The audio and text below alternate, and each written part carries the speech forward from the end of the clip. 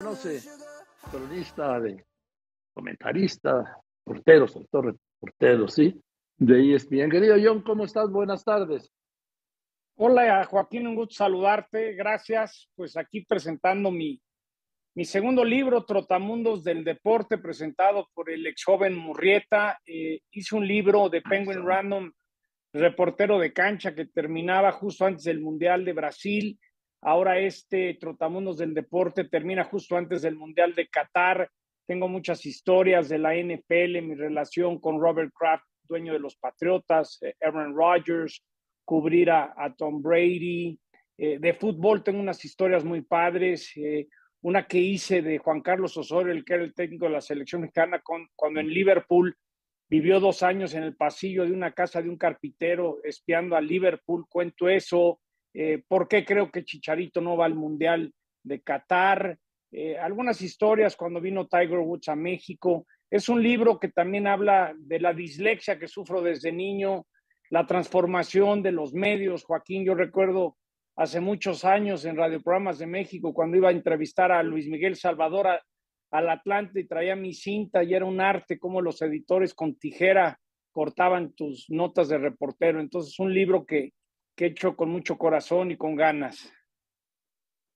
Yo porque eres un gran personaje, querido John. Yo te he seguido pues, por años y años, porque yo soy quizá el más profesional seguidor de deportes por televisión.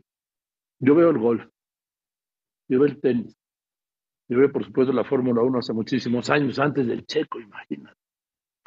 veo el americano, veo el fútbol, veo el Giro de Italia, veo el Tour de Francia, la Vuelta de España. Vamos, no te puedes creer la cantidad de deportes que yo veo por la noche. Y tú eres un gran personaje. Ahora nos conocemos hace mucho tiempo, John. Obviamente yo soy mayor que tú, pero lo que me encanta cuando estás, en dos momentos me encantas. Cuando estás en la banda del, del fútbol americano, porque te puede pasar cualquier cosa. Y te ha pasado, ¿no? Sí, de todo. Y, y, cuando estás narrando el golf, gran personaje, por supuesto, cuando cubres la selección, tú eres, la selección es tu fuente, ¿no? Digamos. Sí, sí, aunque, aunque ahora con Qatar me voy a enfocar al NFL porque creo que el Monday Night Football ESPN tiene los derechos y voy a estar ya, el que es el 12 de septiembre, me toca el regreso de Russell Wilson a Seattle en Monday Night Football, los Broncos contra, contra los Seahawks, es algo que, que disfruto mucho. Creo que la esencia es ser reportero, yo creo que eso es lo que yo agradezco a ESPN, que siempre me han apoyado como ser reportero, He buscado hacer el crossover, meterme al inglés. Por ejemplo, mañana viajo por primera vez, voy a narrar el Tour Championship, el cierre de la temporada de golf de la PGA Tour, invitado por el PGA Tour en inglés. Entonces, ese nervio de prepararse, de estar listo, porque aunque hable el inglés, no, es lo mismo. ¿No quieres, ¿Sí? ¿No quieres que te acompañe?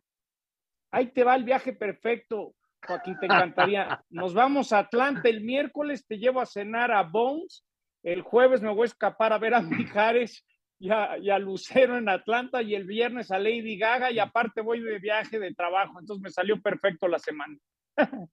No, pues sí, no, sí has aprendido mucho, John, de veras, cómo has madurado, carajo.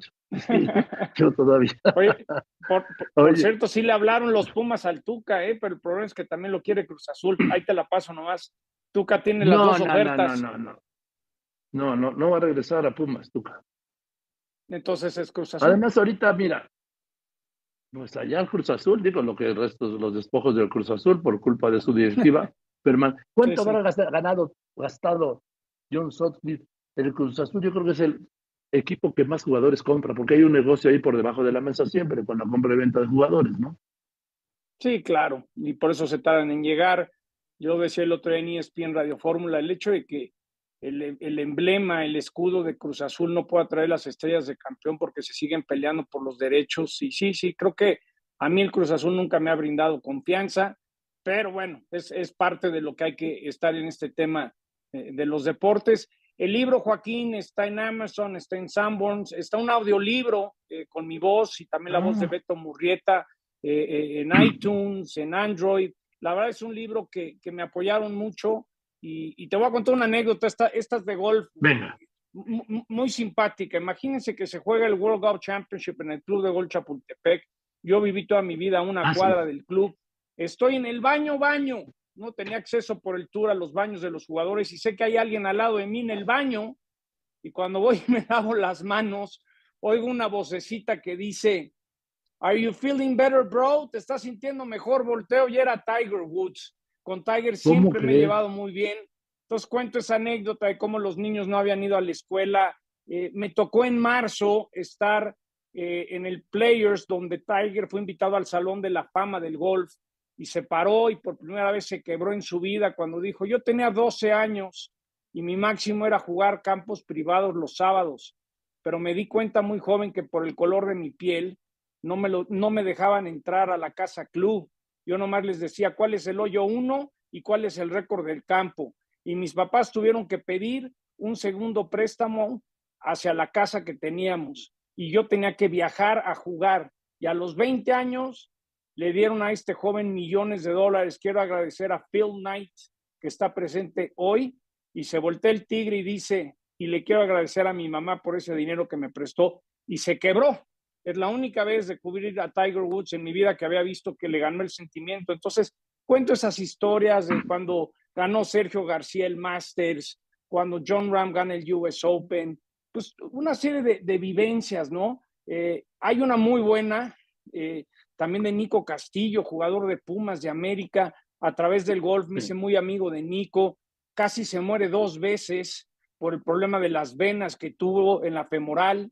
Eh, y va a Atlanta con el doctor de los Hawks y le dicen, yo te pongo una vena artificial y vuelves a jugar fútbol. Y así fue, lo operaron, regresó con Solari, luego con Necaxa, quizás ya no va a poder jugar de una manera permanente, pero son esas historias que, que vives, ¿no? Porque uno como reportero también entiende que no haces muchos amigos. Eh, el que piensa que, que, que, que, los futbolistas o los atletas son tus amigos, para nada. Fuera de Jared Borghetti y Nico Castillo no tengo muchos amigos, tales que en el libro también cuento de mi pésima relación a través de los años con Guillermo Ochoa, o por qué creo que Chicharito le pegó el fenómeno de la Louis Vuitton y el Corvette amarillo, y en el libro platico por qué, en mi opinión, no va al Mundial de Qatar. Oye, dime rapidito, sí, de un minuto, un minuto y medio, o dos. ¿Por qué no va Chicharito a Qatar? Fíjate, Joaquín, que hubo una serie de partidos. en, sí, sí, en Nueva Jersey y en San Antonio hubo unas indisciplinas, pero el problema fue que un chavo de nombre Andrés de Operaciones ayudó a Javier a que unas mujeres checaran su cuarto de hotel y eh, hicieran el check-in en el, en el aeropuerto.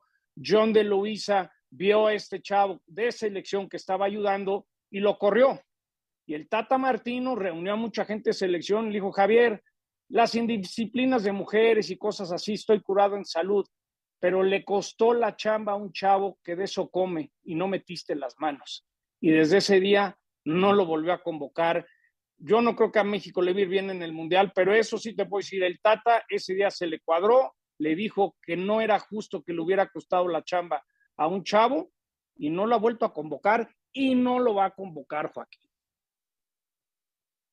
Pues mira qué, qué historia, así se queda claro finalmente. Y todo esto viene en el libro El Trotamundos de John Sutcliffe. Qué alegría, John, que escribas. Es muy tan importante que los protagonistas de cada quien su actividad escriba y narre lo que vive, lo que siente. Que muchas y, cuento de la dislexia, Joaquín. Sí, cuento mi dislexia, lo que me cuesta trabajo, hoy en día me cuesta trabajo escribir. Aprendí a, a, poner audio, a grabar un audio, luego pasarlo a texto, o de repente para mí es más fácil eh, soltarme y hablar y la parte oral. Entonces también quise explicar que cómo sobrepasé la dislexia, pero tampoco la uso como una excusa, porque luego hay muchas veces que dices, no, yo tengo esto y esto y por eso no lo hago, no, para nada. Y este libro pues se lo dedico a, ese chavo que, que, quiere ser periodista, a ese que dice, oye, me encantaría la chamba de Socliffe, oye, ya me costó dos matrimonios, la vida no es fácil, mañana me trepo un avión, a partir de 10 días viajo cada semana, pero soy muy afortunado que me pagan todos los días, Joaquín, por leer la sección de deportes. Y, en este libro lo quería poner, Trotamundos del deporte de Penguin Random, que ya lo pueden encontrar en todos lados. y por hacer lo que nos gusta. Gracias, querido John, te abrazo, muchas felicidades.